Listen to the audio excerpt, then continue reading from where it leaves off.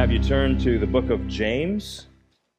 If you're using a Pew Bible, it's page 1386. 1386 in the Pew Bibles. I'll read the text in just a few moments, but uh, let's begin with prayer this morning.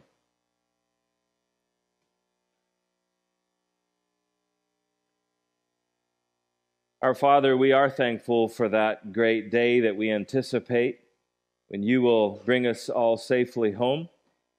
And we do pray, Father, that you would prepare our souls for that day, that you would bring sinners to a saving knowledge of Jesus Christ, that you would preserve and encourage the saints, Lord, as we continue in this world with tribulation.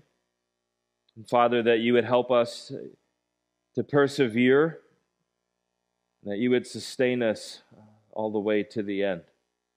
Lord, we ask with especially whatever it is that we might have on, on our plates right now, these days, whatever difficulties we might be facing, Lord, that you would use James to minister to our hearts here today.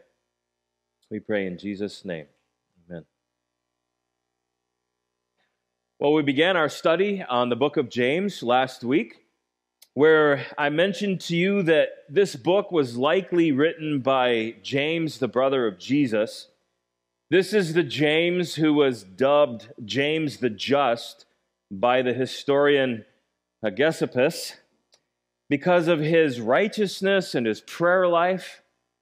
And he's the James who became the prominent pastor in Jerusalem in the book of Acts, the one who was one of the leaders of the council called in Acts chapter 15.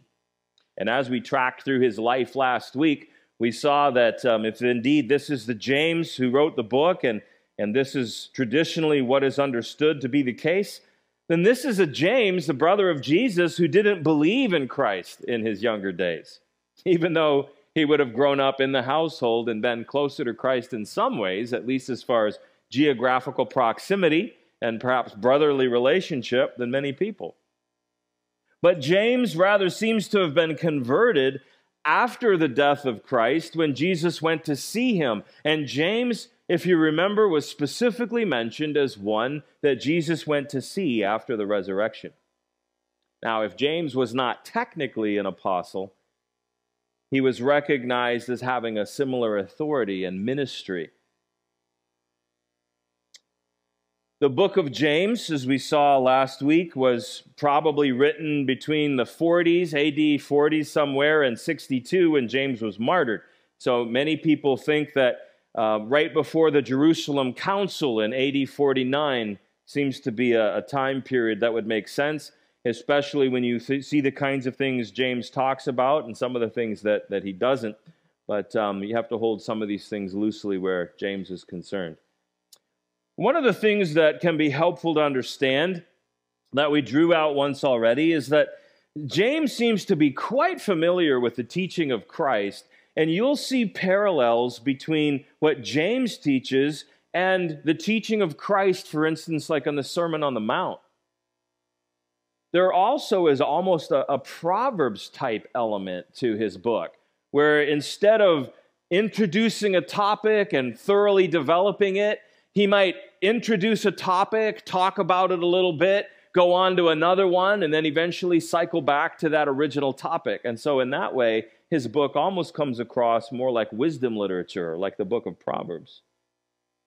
So, this morning, um, instead of, for instance, looking at verses 2 all the way up through 8 or even farther, um, we're going to take what I think is probably his first little Proverbs like section from verses 2 through 4. And then, uh, depending on your Bible, you might actually have a break there, or some of you might continue on with the same paragraph. But there is a shift in verse 5, shifting from uh, joy and trials to the need for us to pray for wisdom and how we should pray in that way. So they're related topics, but they are different as well follow along. I'm going to start with verse 1, and this morning we're just going to read up to verse 4. James, a bondservant of God and of the Lord Jesus Christ, To the 12 tribes which are scattered abroad, greetings. My brethren, count it all joy when you fall into various trials, knowing that the testing of your faith produces patience. But let patience have its perfect work, that you may be perfect and complete, lacking nothing.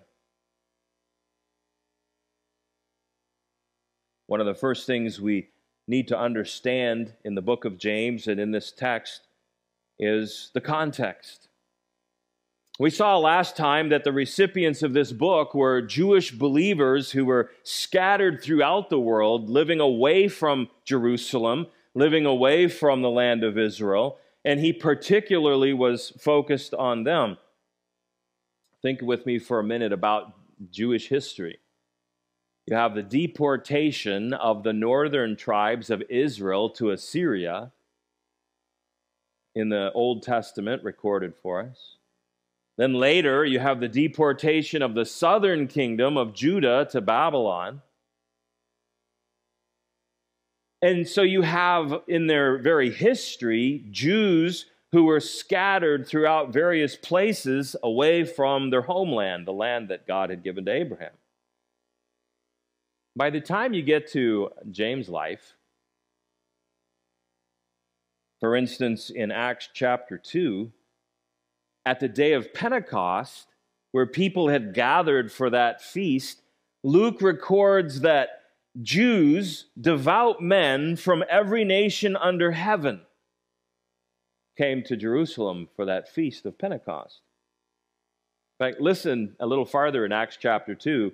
Listen, now this is where they're being confused because they're hearing what's being said in their own languages, and there's the miracle of tongues there at Pentecost.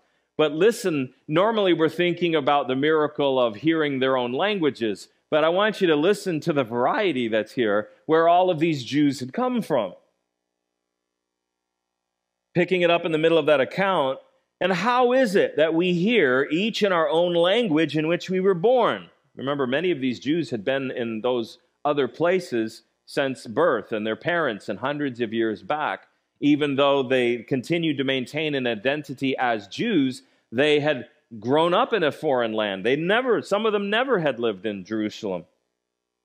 So after asking that question, then here's the list Parthians and Medes and Elamites, those dwelling in Mesopotamia, Judea and Cappadocia Pontus and Asia, Phrygia and Pamphylia, Egypt and the parts of Libya adjoining Cyrene, visitors from Rome, both Jews and proselytes, Cretans and Arabs. so there's your list of Jews that had gathered in Jerusalem for the Feast of Pentecost from all of these different nations and languages. Now we know that at Pentecost, many Jews heard the gospel, believed, and returned home as Jesus followers. Now, then, when you get to the time of James uh, living there, and that's similar time there as Pentecost, you know, the early days after Christ's ascension, you did have some believers who were there um, living in Jerusalem who had been there for their entire lives, but even some of them during the time of James ended up scattered. Remember? So you already have a historical dispersion of, of all kinds of Jews that over time had been spread throughout the nations. But then, even during the time of James, you had those living in Jerusalem who were persecuted and then scattered after the martyrdom of Stephen. So, whether it was recent or more historical, for various reasons, there were Christian Jews living all throughout the known world now, especially after the, the series of events in early Acts, living all throughout the known world, and yet often, even after decades and centuries go by, often as foreigners or outsiders. Some of you are familiar with the history of certain countries where you have certain people groups who have been in that country for centuries, and because of who they are and perhaps being in the minority, those people groups are still considered to be on the outside, even though they've grown up in that country.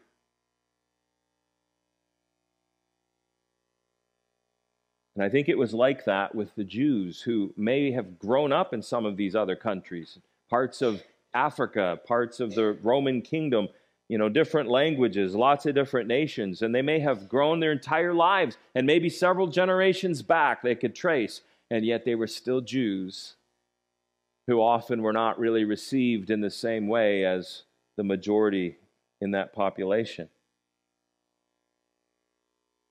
Oh, I mentioned last week, and I believe that the book of James is applicable to Gentiles, but it's clear that James has a heart to minister to the diaspora to the scattered Jews.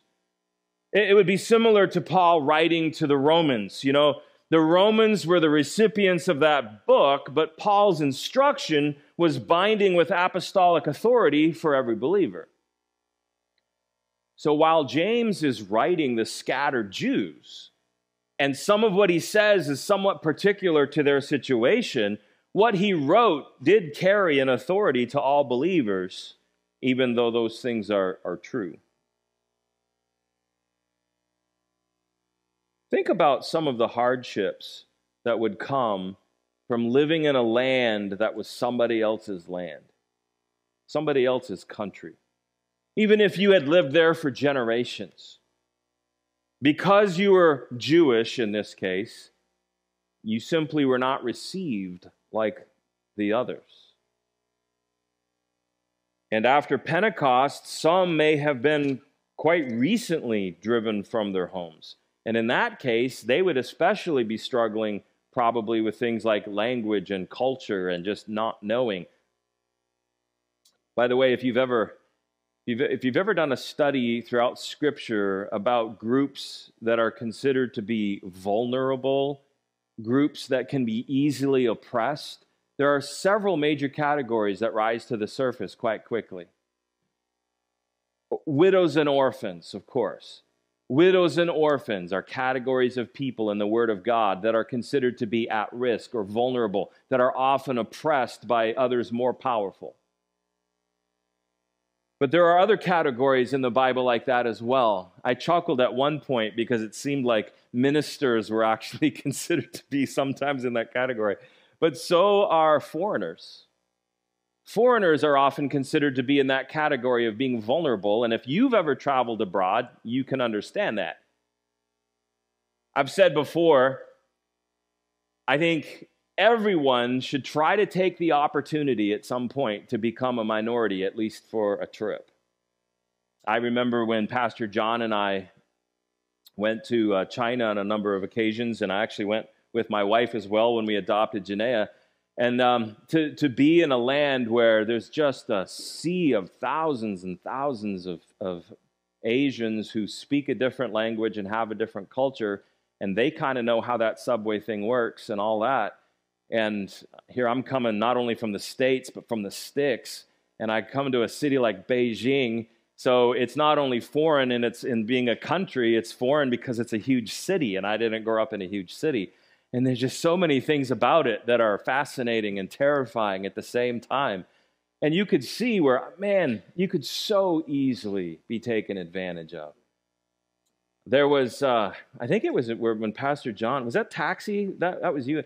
We, so we got off the airport, and uh, it's, it's helpful when you know people on the other side who can help you navigate some of this. But if you don't, so we didn't know. Um, we got we got off, and you know the airport, walked out, you know, ready to go, and I think we ended up in a taxi that probably wasn't recognized officially as, you know, a taxi that was approved.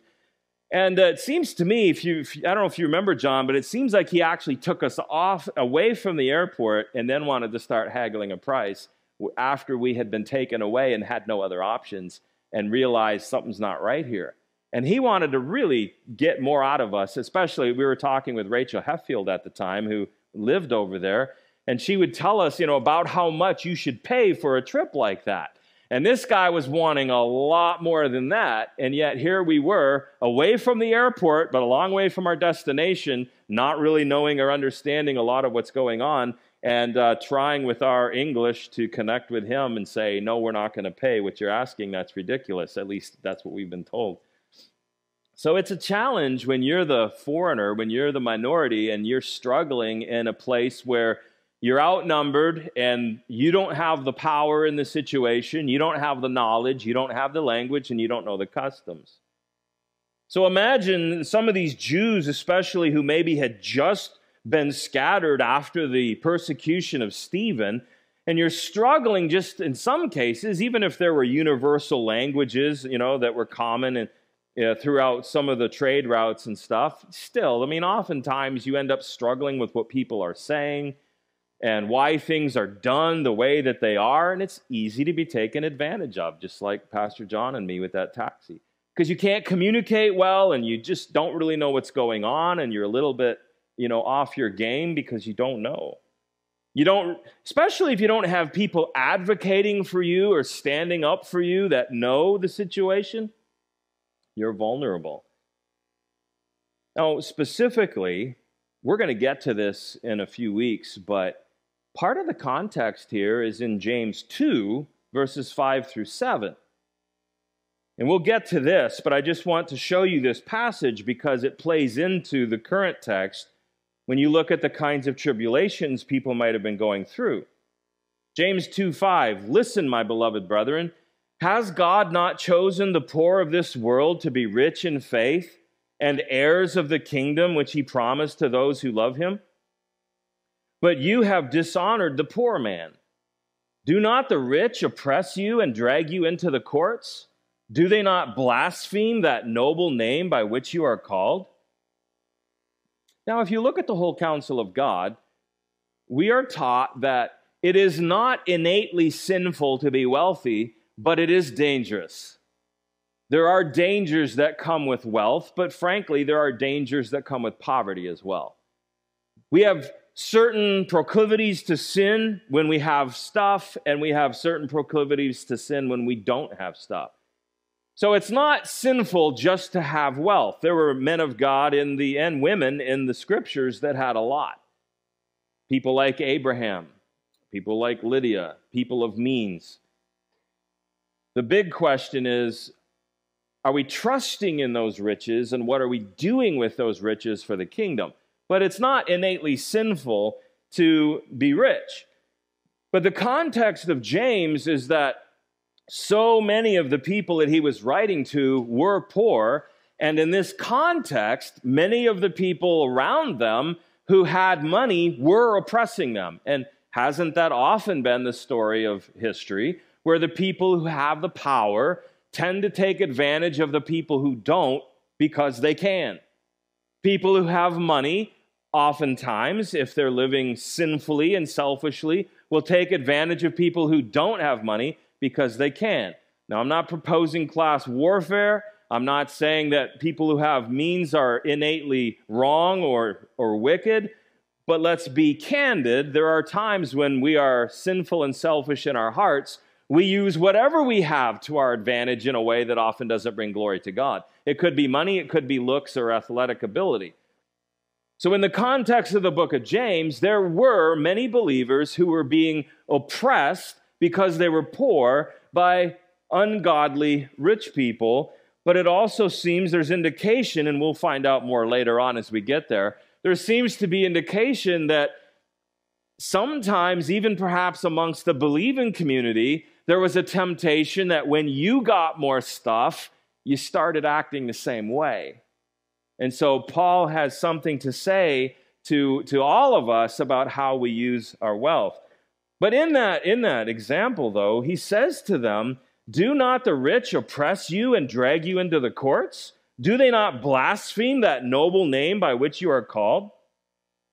So apparently, in the context of many of those um, that James was writing, it was common for the wealthy to drag the poor into the courts to take advantage of them. And in the process, Sometimes they would even blaspheme the name of Jesus in their attacks against the Christian poor. And James wants the Jews to have nothing to do with that sinful attitude, even as they themselves perhaps gain wealth and power as they conduct business or work hard. So it's in that context then that James brings this instruction. So, first, you have this, I guess we could call it a command there in verse 2. My brethren, count it all joy when you fall into various trials or when you meet trials of various kinds. Now, some people might think James is being unrealistic or out of touch. After all, he lives in Jerusalem as a respected pastor, and maybe he just doesn't get what it's like to, to live as a Jew in a foreign land. So, what does he know? But think about it. what had James himself experienced? He had experienced the death of Stephen at the hands of the wicked Jews in Jerusalem.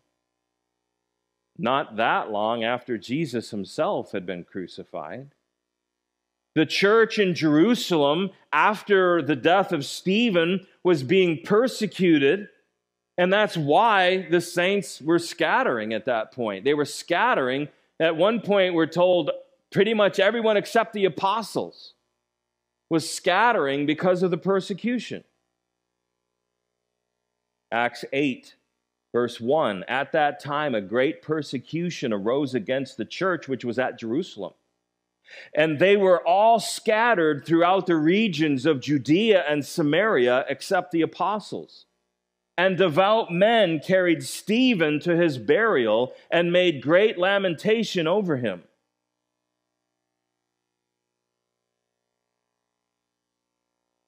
Now, I don't know that it matters whether it was, you know, if James was writing this closer to the time not too far after Jesus had ascended or a few years later, you don't forget this kind of stuff.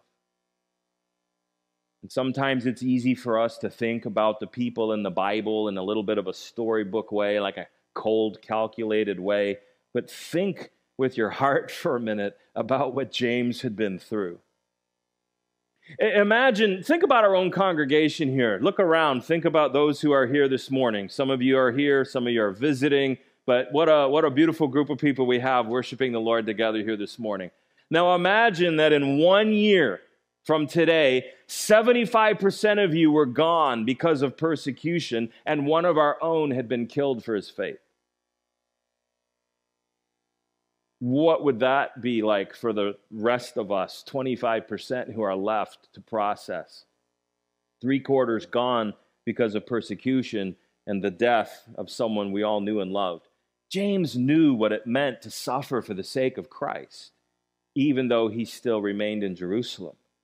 So it's in love and with great understanding and pastoral heart that James calls his readers brothers. And the implication with that word really is brothers and sisters. It can encompass all.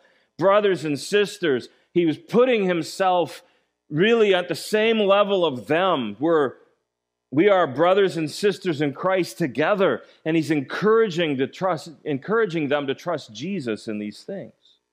So he says, Count it all joy, my brothers and sisters. Now, what does that actually mean? I find myself asking that a lot, especially when I'm coming through going through James. I have a lot of issues with James, and I'm kind of thankful to be preaching through the book because I'm hoping to answer a few of my own issues. Well, what does it mean to count it all joy. You know, there were a lot of songs written in the last century in the Christian church for Sunday school and for worship, some of the songs from the gospel era. And some of them almost gave you the idea that, you know, if you're a Christian, then it's just joy all the time joy, joy, happy face. If you really know Jesus, it's joy, true joy, nothing but joy. And there were a lot of songs like that. And, and there was a partial truth to it, but also a little bit of uh, misleading emptiness to it. When you think about the tribulations that we're actually called to go through. You know, songs that just didn't match with Jesus' teaching that in this world you will have tribulation. So James is not saying to put on a happy face. Pretend your trial is not really a trial at all. You know, you can start doing mental gymnastics like that, right? Oh, if you think about your trial and you compare it with all the other trials from the other people and the other Christians in other places, then you'll find that by comparison, your trial is just not that big. There might be some truth to that, but that's not what James is saying. Kids, can you finish the rest of this? This is for anybody 18 and younger. Turn that frown yeah. is that what James is saying? Turn that frown upside down. No, James is a man who knew persecution, he knew devastation, he knew death for the sake of Christ. And he was a man who'd be facing his own martyrdom because he was a Christ follower. So, what James is saying here when he says, Count it all joy when you fall into various trials, he's talking about an active exercise in faith. To deliberately and intentionally place this category or this trial in the category of pure joy, nothing but joy because of the work that God is doing in us, because of the goodness and the love of God in times like this. He says, You will fall into trials of all kinds. You will often find yourselves surrounded by troubles of all kinds. And, and, I think in this case, trial can be distinguished from temptation, with trials coming to us from the outside and temptations often rising from within. So James is talking about persecution. He's talking about rich people dragging poor Jews into court to extort money from them simply because they can. He's talking about suffering for the cause of Christ, or just suffering in this life, but largely from the things that come from the outside and weigh upon us. Maybe for someone, it might be losing your job because you're a believer, or not getting housing because the locals don't want you in their neighborhood, or having the rich take you to court and winning because they have the money, the power, and the local relationships to pull that off. So, why would you count this kind of stuff as pure joy? Well, I think you see the motivation there in verse 3. Count it all joy when you fall into various trials, knowing that the testing of your faith produces patience, or steadfastness, or perseverance.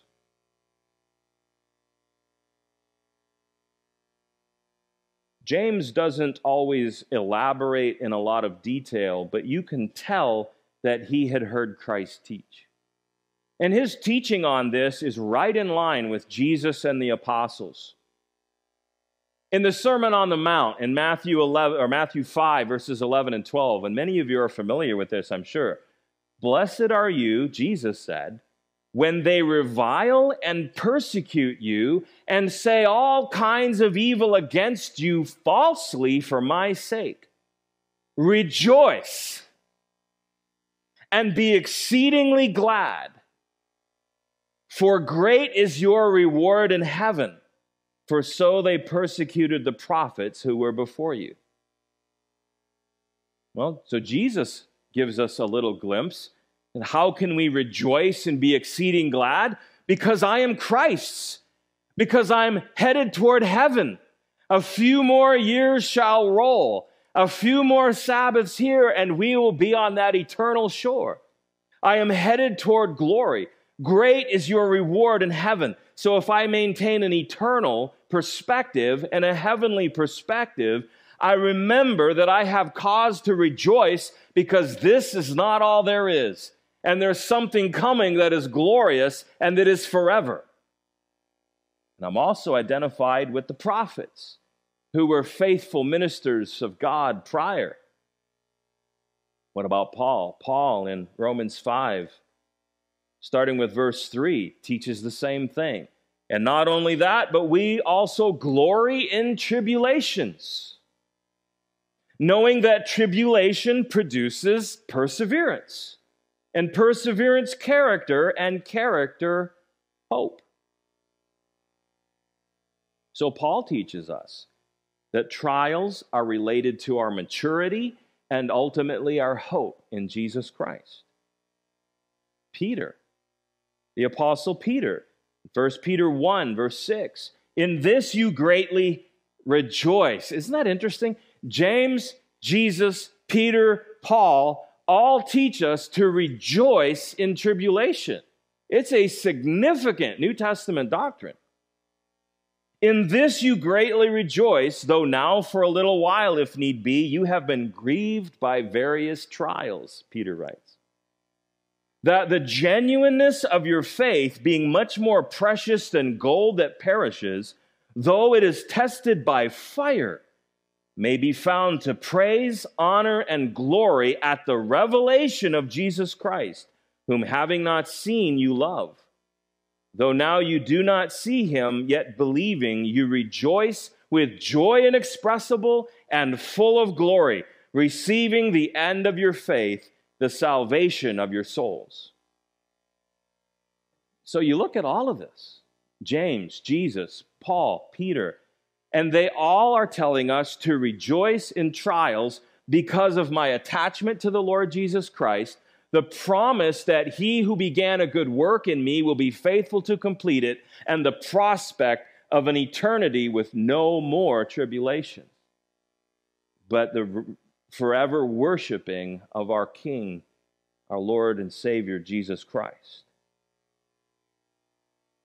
And what's interesting is it is so clear when you look at the evidence from Scripture that God wants us to grow. He wants us to mature. He's doing a work in us that's not just preserving us until glory, but is actually making us more like Jesus, causing us to grow up in Christ, causing us to mature as the fruit of the Holy Spirit comes to fruition in our lives. So there is a, a refining process of trials designed to purify our faith from sin and cultivate our faith and hope in Christ. James says, We know, we have experiential knowledge as we walk with Jesus that the testing of our faith produces steadfastness or perseverance. So, James wants us to actively exercise faith in Jesus as these trials come. We're reminded that God is continuing that good work, that God is present in the trials, working them for a greater purpose, including our own good. And we're reminded of the glory to come. I wasn't able to be in Sunday school because I was teaching the, the, the membership class. Um, but I briefly heard that it was very related to what we're talking about here this morning. Some of the purposes that God has in persecution or in dark providence. God does have a purpose in them, and He is bringing those things to pass in our lives. And a lot of the growth that happens in us just wouldn't happen without the heat of those trials. I don't think James is teaching us to love pain, but he's teaching us to trust Christ in the pain. He's not teaching us to call evil good, but he's teaching us to follow a good Savior when we're being affected by the evil. Kistemaker says this Some people think that because they are unable to avoid trying circumstances, they should resign themselves to them. I guess I would call that fatalism. They adopt the slogan, whatever will be, will be. But whereas resignation is passive, perseverance is active. Resignation results in defeat, perseverance in triumph. The Christian perseveres by looking to Jesus the author and perfecter of his faith. That quote was convicting to me, especially in my own chronic fight with Lyme disease. There have been many times in that battle, far too often, that I've been tempted toward passive resignation instead of active perseverance. This is the way it is. There's not a lot I can do about it, so whatever. When I should have been grabbing a hold of the Lord Jesus Christ and his promises and his goodness by faith, trusting what the word says about me and those trials. So it was a real blessing to read from the Heidelberg Catechism this week. If you ever want a blessing from a historic church document, read the Heidelberg Catechism. Here's question 27 What do you understand by the providence of God? Answer God's providence is his almighty and ever present power, whereby, as with his hand, he still upholds heaven and earth and all creatures, and so governs them that leaf and blade, rain and drought, fruitful and barren years, food and drink, health and sickness, riches and poverty, indeed, all things come to us not by chance, but by his fatherly hand. Oh, brothers and sisters, we need to get a hold of that truth. We need to live our lives in light of that truth all of those things, good and bad, come to us not by chance, but by his fatherly hand. Actually, the next question, question 28, says, What does it benefit us to know that God has created all things and still upholds them by his providence? Answer We can be patient in adversity, thankful in prosperity, and with a view to the future, we can have a firm confidence in our faithful God and Father that no creature shall separate us from his love. For all creatures are so completely in his hand that without his will they cannot so much as move.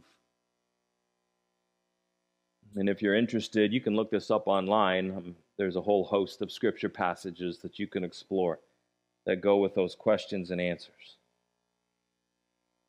All things, brothers and sisters, come to us not by chance, but by his fatherly hand. But you know, we have to believe that by faith because our tribulations look a whole lot like everybody else's tribulations. And it's by faith we understand what the Bible says and promises us about these things, that for the believer, this always is coming from the loving hand of a heavenly Father.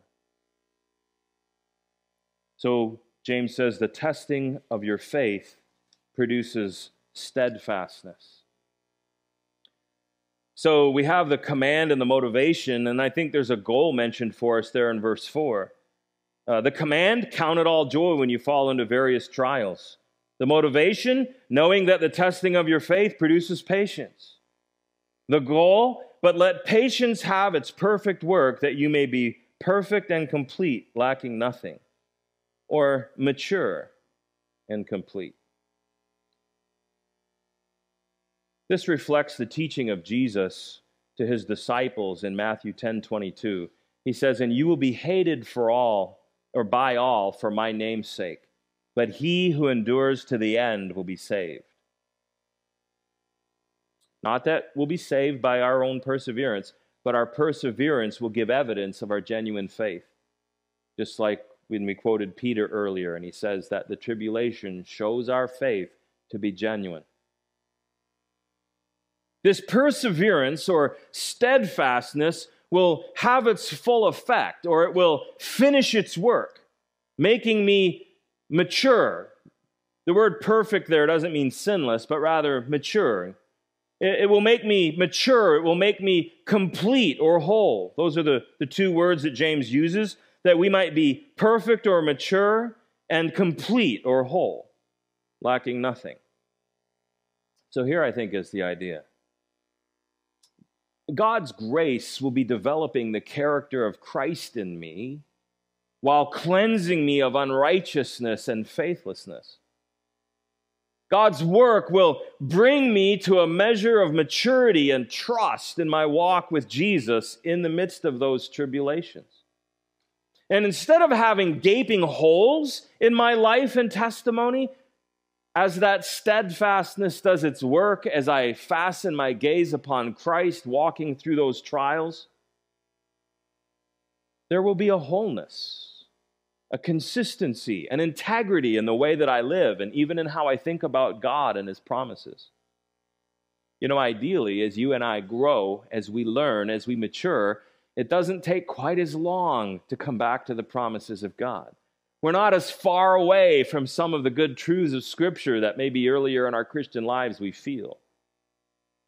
And if we are, we know where to come back and find those promises, don't we? So let's say you lose your job because of your Christian beliefs. It certainly will not be without its stress, but if I am maturing and developing wholeness in Christ, then I will exhibit a Holy Spirit produced prayerfulness, thankfulness, and faith in the midst of that tribulation. I will have the courage and the boldness to stand for the truth, but the wisdom and grace not to be a jerk about it. It's Christian maturity, it's the fruit of the Spirit, it's wholeness, it's the work being completed. So if I lose my job because of my Christian beliefs, and I get to a certain point of maturity in Christ, not that I won't struggle with any of that, but my main priority will remain the glory of Jesus even while I'm suffering. I will seek to make his name great in this. And certainly, these things are not going to be done in perfection. We still struggle. Even as we get older, we have remaining sin and we have remaining doubts and issues. But maybe it takes us a little less time and a little less distance to come back to the things that we know and live in light of those things. And God works in us a maturity and a measure of consistency. Now, it doesn't always go this way, does it? There is an alternative, and it's not a good one. The alternative to exercising faith in God in tribulation is to respond to trials without faith and praise to God, without counting it pure joy because of the work that God is doing in my life. You know what that result ends up looking like? Bitterness, cynicism, depression. And it happens that way too sometimes, doesn't it? What James is calling us to is a deliberate exercising of faith in times of trial.